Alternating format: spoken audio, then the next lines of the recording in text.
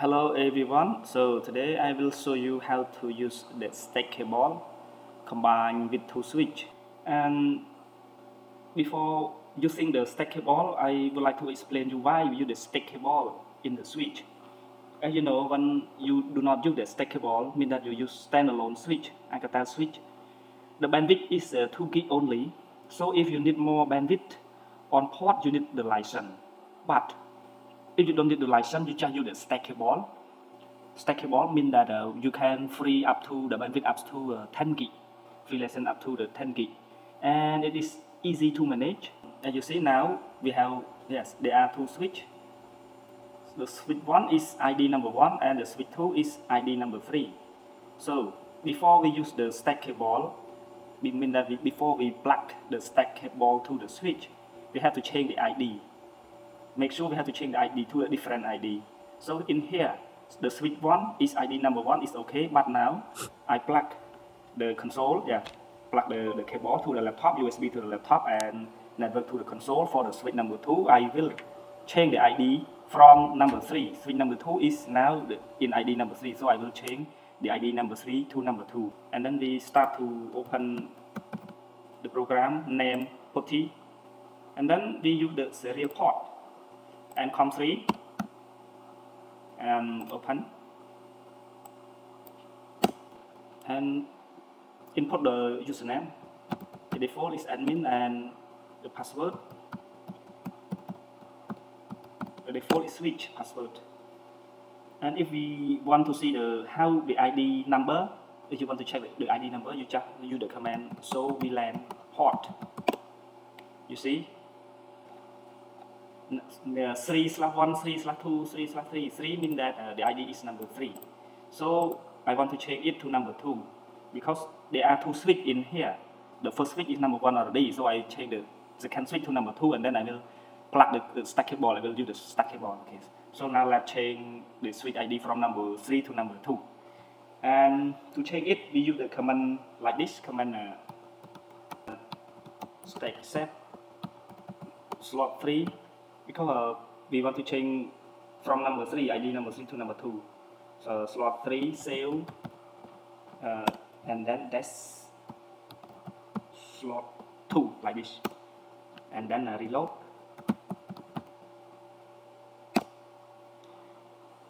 Yes, you press Y mean that uh, you confirm to reload. And then let the switch is uh, restart and then reboot. We will check again.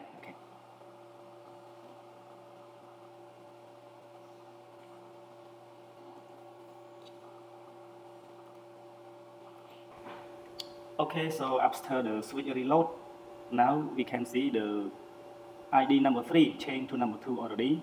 And let's log in to see inside the switch, our switch. So uh, uh, I log in again, use the username, like the default is admin user and the password is switch.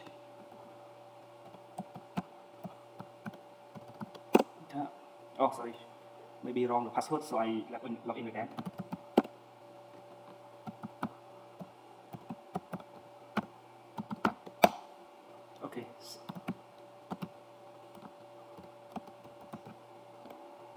Okay, now we can see, we saw the VLAN port, we will see 2 slash 1, 2 slash 3, it means that the ID is number 2.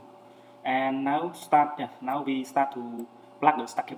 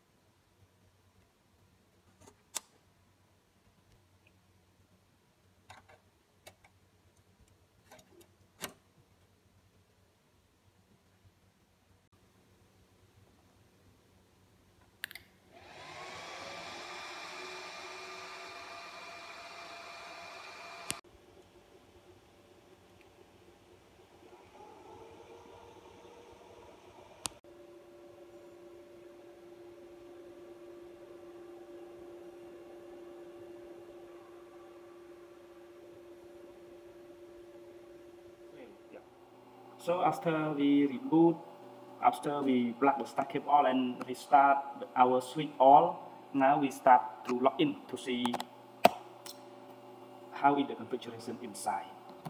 Put your username and password. So, uh, admin default is switch.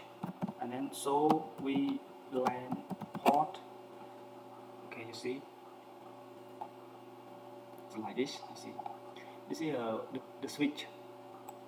ID 1 slash 1 until yeah 50 port only 50 port. Thank you very much for your watching and please leave the comment if you have any question. Also please uh, subscribe my channel to get more update video. Yeah. thank you